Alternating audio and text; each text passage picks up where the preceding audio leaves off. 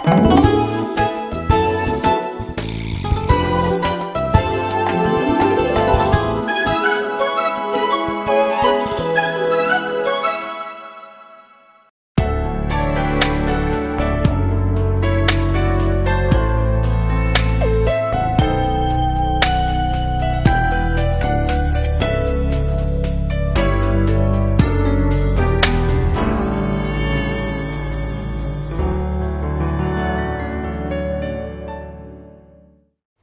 วัสดีค่ะ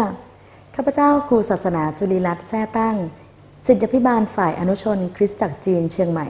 วันนี้จะนำเราทั้งหลายศึกษาจากพระธรรมเอสราบทที่ 9 ข้อ 1 ถึงข้อที่ 15 กันนะคะ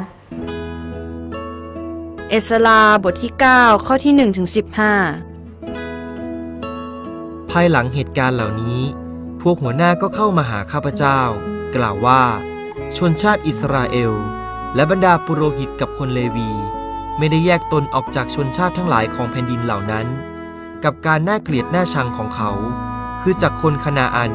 คนฮิตไทย คนเปริสีคนเยบุส คนอัมโมน คนโมอับ คนอียิปต์ และคนอาโมไร เพราะพวกเขารับบุตรหญิงของชนเหล่านี้ เป็นภรรยาของเขาเอง และของบุตรชายของเขา ดังนั้นเชื้อสายบริสุทธิ์ได้ปะปนกับชนชาติทั้งหลายของแผ่นดินเหล่านั้น และพวกหัวหน้า และผู้ครองเมืองเป็นแม่แบบในความผิดนี้ เมื่อข้าพเจ้าได้ยินอย่างนี้ ข้าพเจ้าก็ฉีกเสื้อทั้งเสื้อคลุมของข้าพเจ้า และถึงผมออกจากศีรษะ และถึงหนวดเคราของข้าพเจ้า และนั่งลงตะลึงอยู่ แล้วบรรดาคนที่สั่นสะท้าน เพราะพระวจนะของพระเจ้าแห่งอิสราเอล เนื่องจากความผิดของพวกเฉลยที่ได้กลับมา ได้มาประชุมต่อหน้าข้าพเจ้า ขณะที่ข้าพเจ้านั่งตะลึงอยู่ จนถึงเวลาถวายเครื่องบูชาตอนเย็น ณการถวายเครื่องบูชาตอนเย็นนั้น ข้าพเจ้าได้ลุกขึ้นจากการอดอาหาร ด้วยเสื้อและเสื้อคลุมของข้าพเจ้าที่ฉีกขาด และข้าพเจ้าก็คุกเข่าลง และชูมือขึ้นต่อพระยาเว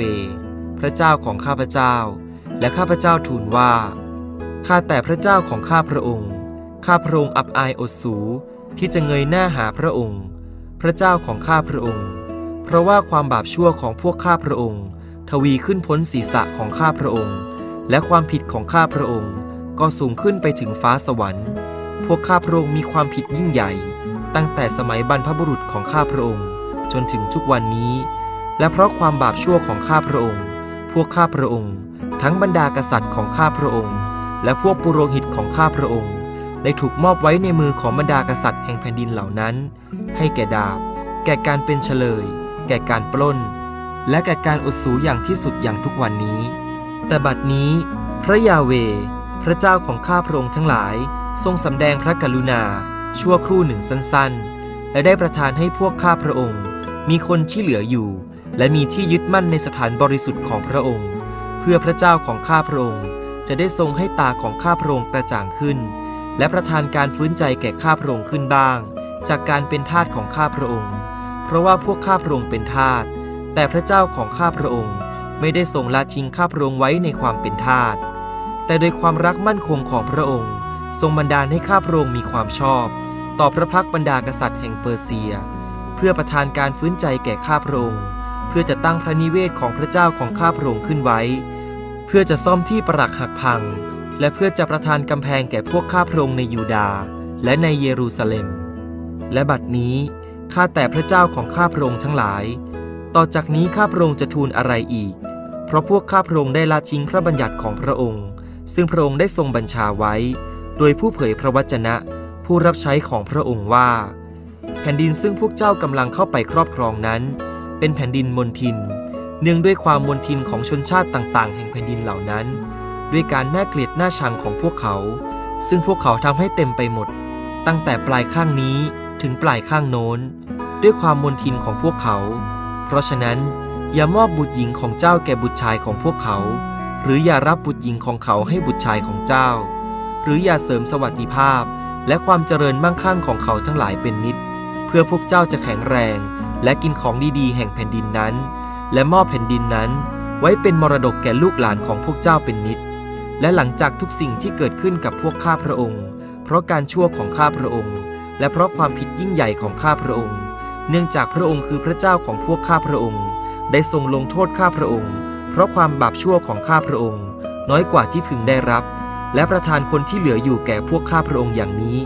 สมควรที่พวกข้าพระองค์จะละเมิดพระบัญญัติของพระองค์อีก และเข้าแต่งงานกับชนชาติทั้งหลาย ผู้ประพฤติสิ่งน่าเกลียดน่าชังเหล่านี้หรือ พระองค์จะไม่กริ้วต่อพวกข้าพระองค์ จนพระองค์ผลาญข้าพระองค์ทั้งหลายเสีย จนไม่มีคนที่เหลืออยู่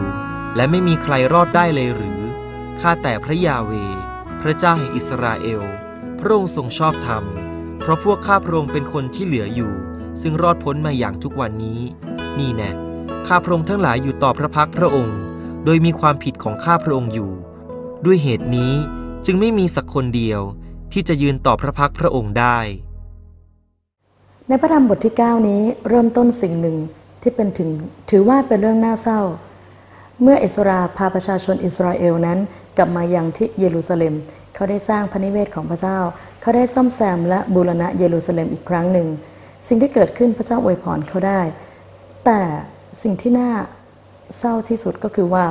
ผู้ชายอิสราเอล และประชากรอิสราเอลในเวลานั้น กลับไปแต่งงานกับหญิงต่างชาติ